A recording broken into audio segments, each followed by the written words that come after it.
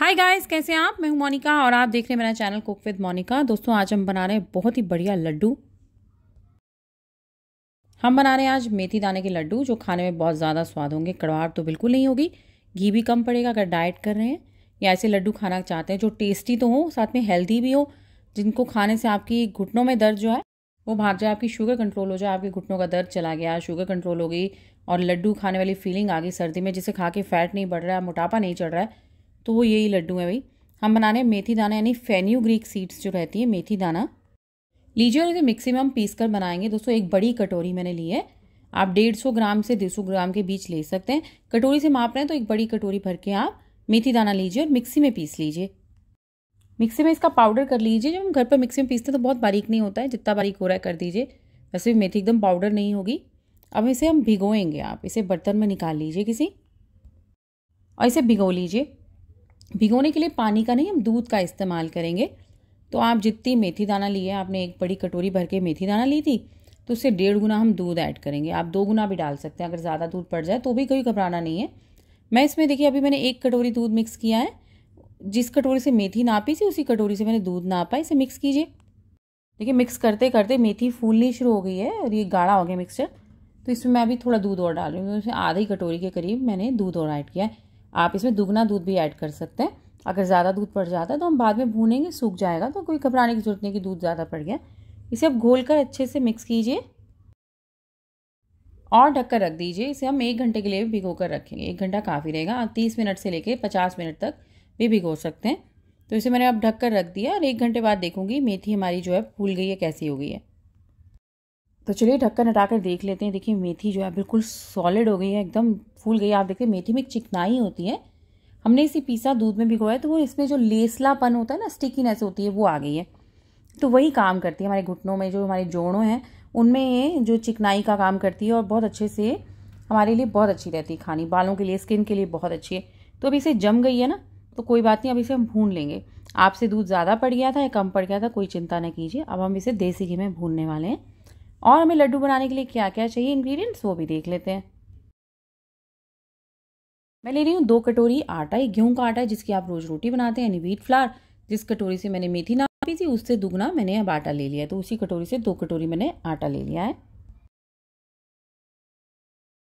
साथ में लिए सौ ग्राम गोंद, ये एडिबल गम कहते हैं इसे, ये गोंद है, जो कि बहुत फ़ायदेमंद रहती है। सर्दी में लोग जब लड्डू बनाते हैं और चीज़ें बनाते हैं तो गोंद ऐड करते हैं। तो गोंद को मैं यहाँ तल कर नहीं ऐड करूँगी, क्योंकि तलने से बहुत घी पी जाएगी। इसे मैं अभी कच्ची ही मिक्सी में पीस रही हूँ। मिक्सी में पीस कर गोंद का फाइन पाउडर बना लीजिए। देखिए कितना बढ़िया पाउडर बन गया। अब मैं जब आटा भूनूँगी ना, इसे भी साथ ऐड करके, इसे भी साथ भून लूँगी। हम जब गोंद को तलते तो घी पी जाती है बहुत, और जब मेथी के लड्डू बनाते तो मेथी को घी नहीं अच्छा लगता। साथ ही इसमें मैं एक गोला, यानी एक नारियल लीजिए कि पूरा नारियल है, इसे मैंने कद्दूकस करके रखा है। ये भी ऐड करूँगी। तो हमने बेसिक इंग्रेडिएंट्स लिए आटा, मेथी दाना और थोड़े से मैंने गोंद और नारियल। सारी तैयारी हो गई, अब चलिए लड्डू बनाते हैं, इसके लिए बड़ी कढ़ाई लीजिए भाई तले की और उसमें एक कप देसी घी डालिए।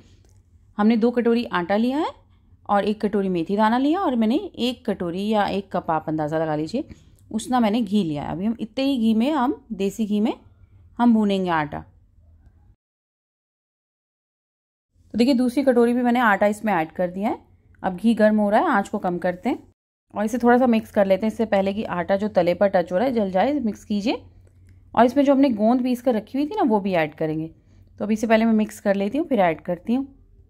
अब दोस्तों, गोंद भी हमने अच्छे से भूननी है तो हम आटा जो हम भूनना शुरू करेंगे, साथ ही हम गोंद भी डाल देंगे। अब गोंद भी आटे के साथ अच्छे से भुन जाएगी फ्राई हो जाएगी। तो हमें अलग से गोंद को भूनना और पीसना नहीं पड़ेगा, तलना नहीं पड़ेगा। बस इसे भी आप आटे के साथ भून लीजिए। आटे को आप कम आँच में भूनिए, साथ ही दोस्तों बादाम मैं ऐड करूँगी। बादाम मैं बिल्कुल बारीक पाउडर बनाकर ऐड करूँगी। थोड़ा दरदरा कर सकते हैं आप। तो इसे भी मिक्सी में मैं एक कटोरी बादाम है इसे भी पीस रही हूँ। देखिए, बादाम का भी मैंने पाउडर बना लिया। जब आटा भुन जाएगा तो ये ऐड कर दूँगी।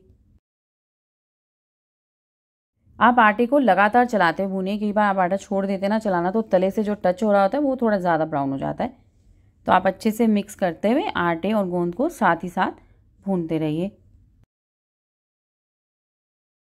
देखिए, पंद्रह से बीस मिनट में हमारा आटा जो है बहुत अच्छे से भुन गया है। तो मुझे टोटल पंद्रह से बीस मिनट लगे कम आँच पर।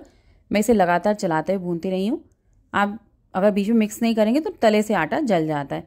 तो अब अच्छे से हमारा आटा भुन गया है तो आप इसमें बादाम जो हमने पीस कर रखे ऐड कर देते हैं। आटा बहुत गर्म है, कढ़ाई गर्म है। तो इससे क्या होगा, जो हमारे बादाम भी हैं, वो भी बहुत अच्छे से भुन जाएँगे। इसमें अलग से घी या तेल नहीं चाहिए होगा, बहुत अच्छे से भुन जाएँगे। तो इसे भी अच्छे से मिक्स करिए पाँच मिनट। अब दोस्तों मैं गैस को बंद कर रही हूँ, क्योंकि हमारे जो बादाम भी भुन चुके हैं, आटा भुन चुका है, हम नहीं चाहते ओवर कुकिंग हो जाए। अब इसे नारियल को हम ऐड करेंगे, जो हमने नारियल भी ग्रेट करके रखा था। नारियल भी इसमें ऐड कर देते हैं। तो देखिए अभी हमारा नारियल भी जा रहा है इसमें। ये एक गोला है जो कद्दूकस किया हुआ है तो अगर आप नापेंगे तो ये दो कटोरी के करीब है। तो इसे भी मिक्स कर देते हैं। नारियल चूँकि ड्राई होता है तो एकदम से ये कुक हो जाता है। आप इसे अलग से तलेंगे तो ये जल जाएगा तो इसे भी आप गर्म आटे में मिक्स कीजिए। और ये सारी हमारी जो इंग्रेडिएंट है दोस्तों, बहुत अच्छे से अब पक चुकी है। अब मैं इसे कढ़ाई में छोड़ दूँगी तो कढ़ाई गर्म है तो ये जल सकती है। तो सभी चीज़ों को आप पहले मिक्स कीजिए और फिर दूसरे बर्तन में इसे ट्रांसफ़र कर दीजिए। तो चलिए अब मैं इसे निकाल लेती हूँ दूसरे बर्तन में।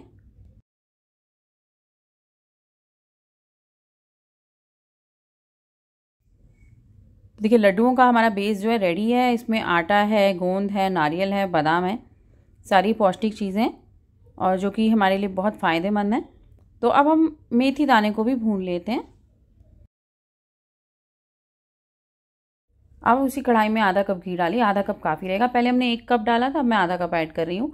टोटल डेढ़ कप घी लगा मुझे लड्डू बनाने में इतने सारे। देखिए, घी ऐड कीजिए, गर्म कीजिए और इसमें मेथी भूनेंगे अब। तो देखिए, मेथी का जो हमारा प्योर है, वो ये जो क्या कह सकते हैं, इसे पीठी बनी हुई है हमारी। तो ये ऐड कर रही हूँ। तो ये अभी सख्त है, क्योंकि इसमें खूब सारा दूध है, ये जमी हुई है, इसमें लेस है। जैसे जैसे भूनेंगे, दूध सूखता जाएगा और मेथी जो है बिखरती जाएगी। आप मेथी को पहले थोड़ा तेज़ आँच पर भूनिए और बाद में आप आँच को कम कर सकते हैं। अभी मैंने थोड़ी आँच तेज रखी हुई है, ताकि खूब अच्छे से बुनाई हो जाए।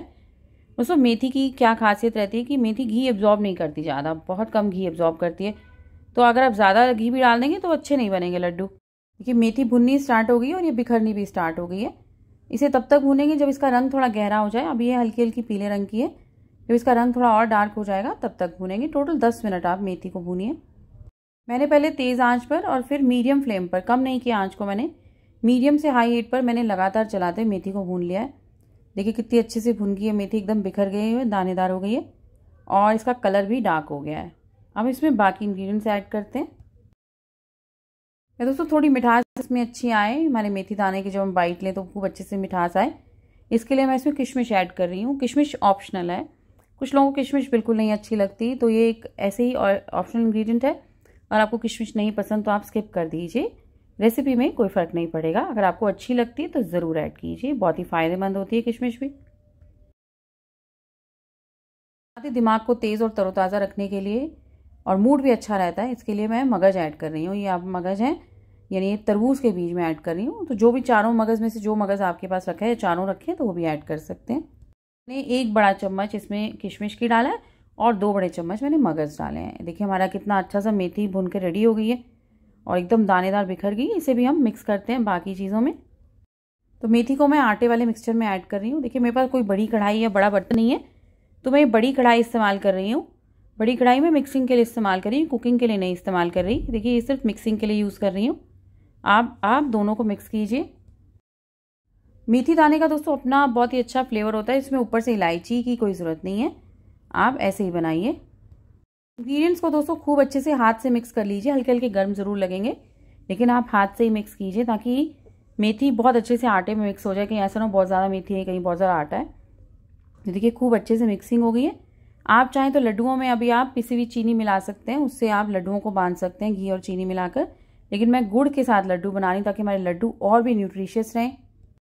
शुगर पेशेंट्स कहते हैं ना, हम लड्डू कौन से खाएँ? तो ये ज़रूर लड्डू वो खा सकते हैं, इससे शुगर भी कंट्रोल होगी। तो देखिए, मैं इसमें 400 ग्राम गुड़ ऐड कर रही हूँ।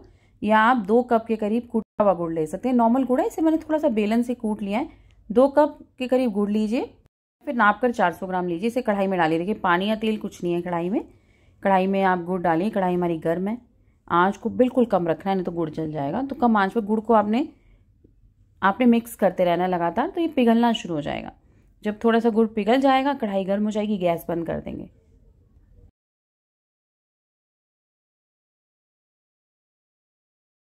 देखिए, गुड़ हमारा मेल्ट हो गया है और काफ़ी हद तक मेल्ट हो गया बीच में, लेकिन सख्त टुकड़े मुझे दिख रहे हैं। फिर भी मैंने गैस बंद कर दी, क्योंकि मैं पकाना नहीं चाहती गुड़ को। अब बस गर्म कढ़ाई में आप लगातार मिक्स करते रहेंगे तो गुड़ हमारा बहुत अच्छे से पिघल जाएगा सारा का सारा। पिघले हुए गुड़ को दोस्तों, आप जो हमारा मिक्सचर बना हुआ है लड्डुओं का, उसमें मिक्स कर दीजिए। अब ये गुड़ जो है गर्म है, क्योंकि हमने इसे गर्म किया तभी पिघला है तो इसे आप ध्यान से ऐड कीजिए। और जब ये गर्म हो तभी आप इसे मिक्स कीजिए। लड्डुओं में अगर आप ऐसे ही छोड़ देंगे, ठंडे होने का इंतज़ार करेंगे तो जहाँ जहाँ गुड़ पड़ा है वहीं जम जाएगा। देखिए, आप कढ़ाई में देखिए मैंने गुड़ डाला है मुझे गर्म लग रहा है तो मैं बीच बीच में हाथ से और बीच बीच में मैं इस तरह से पलटे से इसे मिक्स करती रहूँगी। और ठंड भी है, मौसम तो गुड़ जमना स्टार्ट हो गया। आप देख सकते हैं किनारों वाला गुड़ जो है, वो जम रहा है, इसे हाथ से छुड़ाइए और इसे मिक्स कीजिए। आप बीच बीच में हाथ से और स्पैचुला से जैसे आपको अच्छा लगे मिक्सिंग कर सकते हैं। लेकिन हम इसे ठंडा होने का इंतज़ार नहीं करेंगे, नहीं तो लड्डुओं में गुड़ कहीं कहीं जम जाएगा और बिखर जाएगा।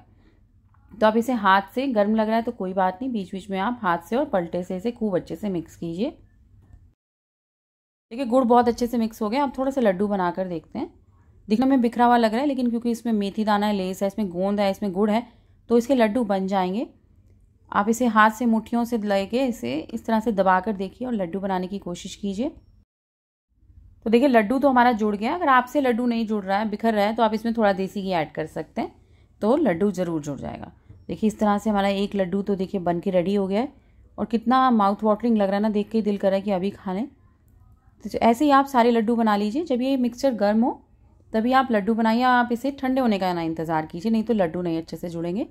बस आप मुट्ठियों में दबाइए, गोला बनाइए और हमारा लड्डू जो है बिल्कुल बनकर रेडी हो जाएगा। खाने में भी बहुत स्वाद होगा। बनाने में तो मुझे मज़ा आ रहा है, लेकिन ये खाने में बहुत स्वाद होने वाला है। खाने वाला बिल्कुल गैस नहीं कर पाएगा कि ये मेथी का लड्डू है।